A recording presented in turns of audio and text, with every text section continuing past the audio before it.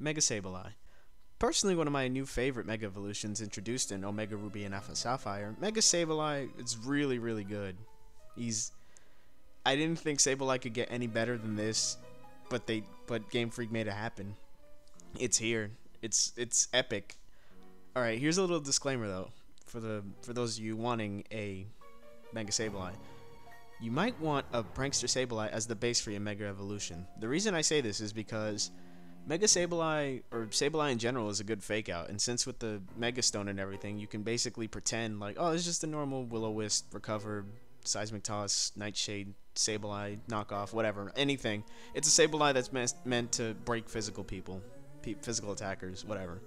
But when you switch in the Mega Evolution, that's when things get really, really bad for the other person. Alright, now for the stats. Its EVs are 116 HP, 252 defense, 4 special attack, and 136 special defense. When it Mega Evolves, it gains a lot of defense, so I figured take advantage of that. And as for the special defense, well, you'll see later in the video.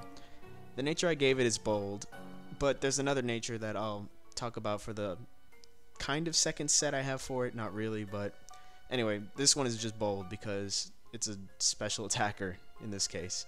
The item you need to make Sableye evolve is Sableite, and obviously it gains ma Magic Bounce, which reflects any non-attacking moves back at the user. Now for the second set. Basically, it's the same outlined set before, except this time, instead of four special attack, you give it four attack. And the nature I put on this one in particular is relaxed, which raises defense and lowers speed, because this Pokemon is really, really slow. Now for the moves. Calm Mind. This is why I gave it a little bit of an investment in special defense, because Calm Mind automatically raises your special defense as well as your special attack. That being said, if you have a bold Sableye, you might want a Shadow Ball, and if you have it relaxed, you might want Knockoff. The reason I say this and not Dark Pulse is because, well, Dark Pulse doesn't really do much. I mean, if you're trying to cover Psychic type, Shadow Ball still puts in work. Shadow Ball versus Dark Pulse, the chance to flinch, I don't think is that high because Sableye is pretty slow to start, so you might want truck damage in this case.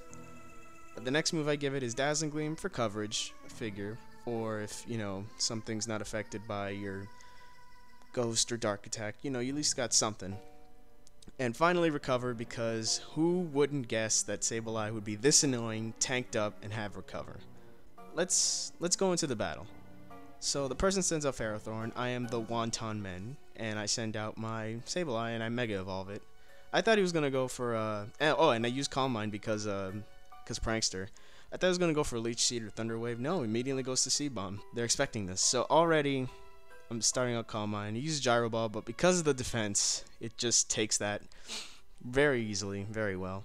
I, I throw up another Calm Mind because why not? I don't know what this Rotom Wash is going to do to me at this point. Will-O-Wisp, clearly, well, it's not clearly Magic Bounce, but if you would know, Magic Bounce just immediately reflects it because it's hilarious.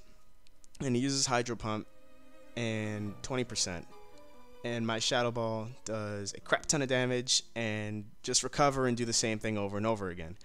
Alright, for the next battle, send out Mienshao, I send out my Sableye. He switches out because he know what's up. He sends out Goodra. I'm like, alright, fine. I'll just send this out and use Calm Mind. As usual, that's the usual setup. Calm Mind quick, bulky defense. Dragon Pulse does a decent amount, and I'm like, Dazzling Gleam, and it doesn't do much because it's not stab and relatively low special attack. So clearly, I'm going to have to use Calm Mind again because over time, Dragon Pulse just isn't gonna. It's not gonna be cutting it anymore. So then I use Recover, and he's you know he switches out, goes back into Mienshao. I have no idea why. He had options, and then I use Calm Mind again just because. Use U-turn. It doesn't really bother me. Sends out Skarmory. I'm like, he can't whirlwind me, and he can't set up spikes. So what is he gonna do? Well, Skarmory is faster, so he starts using Iron Head, relying on the flinch. And I'm just sitting here like, yeah, sure, I'll just keep recovering. And he's really relying on this para flinch thing to happen, and Shadow Ball does a truck ton of damage. One more Calm Mind, I definitely would have one-shotted it, regardless. And the battle just keeps going, and uh, eventually I win, because, you know, you let Mega Sableye set up. You d- you don't do that. I have I don't really have a clue how to beat this thing. Maybe in a Azumarill huge power thing. It is I can't you can't really you could probably Dragon Tail. That'd probably work. Or or like Haze. Haze would be hilarious. All that hard work for nothing. But or Moldbreaker. Yeah, this this Pokemon has some weaknesses, but in the tier it's in right now, I'd probably predict it either be OU or maybe NU. No, not NU. Maybe UU. But it's really good, so who knows? Maybe it might end up in OU. What do you guys think? Do you have any Mega Sableye sets? Do you have any other plans for this Pokemon? Leave your comments in the video below. I'm Oblivion Guy, and I'll catch you guys later.